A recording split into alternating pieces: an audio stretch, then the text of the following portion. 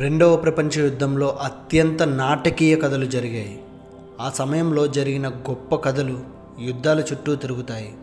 ఈ గొప్ప విజయాలు నిస్సందేహంగా విస్మయం కలిగించేవి అయితే శత్రువు ప్రయత్నాలను అడుగడుగునా అణగదొక్కడానికి తమ వంతు కృషి చేసిన వందలాది మంది రహస్య ఏజెంట్ల నిర్విరామ మరియు ధైర్య ప్రయత్నాలు కాకపోతే అవి సాధ్యం కాదు.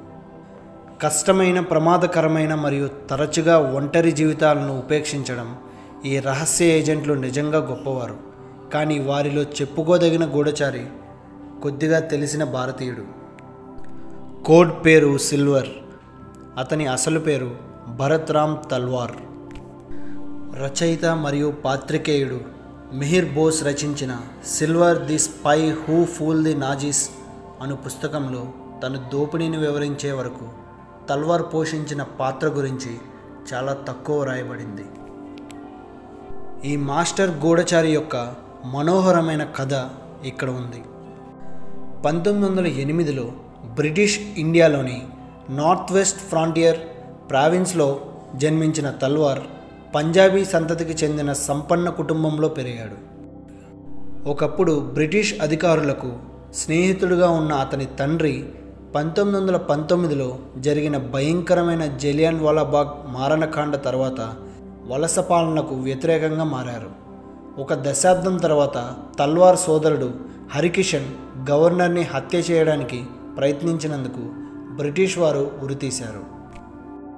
పంజాబ్ దీని ద్వారా మరియు భగత్ సింగ్ ఇచ్చిన ఉదాహరణ ద్వారా ప్రభావితమైన తల్వార్ కూడా కీర్తి కిసాన్ పార్టీ అని పిలువబడే పంజాబ్ ఆధారిత కమ్యూనిస్ట్ ఉద్యమంలోని ఒక వర్గానికి తన విధేయతను ప్రతిజ్ఞ చేయడానికి విప్లవాత్మక కార్యకలాపాలలో పాల్గొన్నారు. పంతొమ్మిది వందల నలభై ఒకటిలో అతను ఒక నిర్దిష్ట వ్యక్తిని బ్రిటిష్ భూభాగం నుండి ఆక్రమంగా రవాణా చేసే పనిలో ఉన్నాడు. ఆ వ్యక్తి మరెవరో కాదు సుభాష్ చంద్రబోస్ బోస్ ఒక చెవిటి మరియు మూగ ముస్లిం యాత్రికుడిగా మొహమ్మద్ జిహావుద్దీన్ మరియు తల్వార్ అతని కార్యదర్శి రహమ్మద్ ఖాన్గా నటిస్తూ సాహసాల పరంపరను అనుసరించాడు. మాస్కో చేరుకోవాలనే అసలు ప్రణాళిక విఫలమైన తర్వాత బ్రిటిష్ పాలన నుండి భారతదేశాన్ని విముక్తి చేయడంలో హిట్లర్ సహాయం కోసం బోస్ అడగడానికి వీలుగా ఏప్రిల్ పంతొమ్మిది వందల నలభై ఒకటిలో వారిద్దరూ బెర్లిన్ చేరుకున్నారు. బోస్ తల్వార్ని జర్మన్ దౌత్యవేత్తలకు తన భారతీయ ఏజెంట్గా పరిచయం చేసినప్పుడు అక్షశక్తులకు గూఢచారిగా మారే అవకాశాన్ని వినియోగించుకున్న తల్వార్కు ఇది ఒక యాదృచ్ఛిక సంఘటనగా నిరూపించబడింది. జర్మన్లు తల్వార్ యొక్క హర్డ్ టు ఫైర్ సమాచారాన్ని పొందగల సామర్థ్యాన్ని చూసి ఆశ్చర్యపోయారు. అతనికి గూఢచార్యం ట్రాన్స్మిటర్ రిసీవర్ సెట్లో మరింత శిక్షణ ఇచ్చారు మరియు అతనికి రాజాభివృద్ధి చెల్లించారు. అతని పనిలో గిరిజన భూభాగం గుండా ప్రయాణించడం మరియు బ్రిటన్ మరియు ఆఫ్ఘనిస్తాన్ రెండింటికి రక్షణ కల్పించేవారు. వాస్తవానికి యుద్ధం ముగిసే సమయానికి జర్మన్లు అతనికి రెండు పాయింట్ ఐదు మిలియన్లు చెల్లించారు. ప్రస్తుత ద్రవ్య విలువలో. మరియు నాజీ జర్మనీ యొక్క అత్యున్నత సైనిక అలంకరణ అయిన ఐరన్ క్రాస్లో సత్కరించారు. అయితే వారికి తెలియని విషయం ఏమిటంటే తల్వార్ వారిని భారీ స్థాయిలో మోసం చేస్తున్నాడు. హృదయపూర్వకంగా కమ్యూనిస్ట్ అయిన అతని ఫాసిస్టులకు సహాయం చేయాలనే అసలు కోరిక లేదు. జర్మనీ సోవియట్ యూనియన్పై దాడి చేసి ట్రిపుల్ ఏజెంట్గా మారి జర్మనీ ఇంటెలిజెన్స్కు మాస్కోకు పంపిన తర్వాత అతను కాబుల్లోని రష్యన్లను సంప్రదించాడు. తర్వాత సోవియట్ యూనియన్ బ్రిటన్ యొక్క స్పెషల్ ఆపరేషన్స్ ఎగ్జిక్యూటివ్ ఎస్ఓఈతో సాధారణమైన ఒప్పందంలోకి ప్రవేశించినప్పుడు తల్వార్ బ్రిటన్ కోసం కూడా రహస్య ఆపరేషన్ చేపట్టడం ప్రారంభించాడు. రష్యన్లు పంచుకోవడానికి అంగీకరించిన ఏకైక గూఢచారి అతను.